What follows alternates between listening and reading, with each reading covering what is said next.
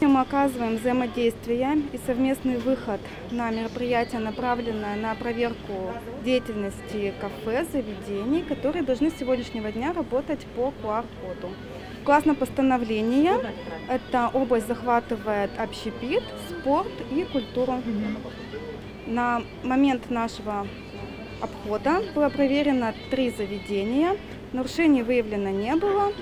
Все сотрудники э, работают четко по QR-кодам, проверяют их наличие и также сверяют паспортные данные. И вот. Если такового не имеется, можно приобрести с собой на вынос. Ну, штрих-код, QR-код, сертификат, если вас вакцинировали, справка метод ввода. С сегодняшнего дня ввели э, вход в наше заведение и в другие заведения общепита по QR-кодам, по РЦ-тестам, э, по методводам. И вот я стою, работаю, проверяю людей. Э, Считываю QR-код по телефону, по камере, э, сверяюсь э, с паспортными данными человека. Так проверяю.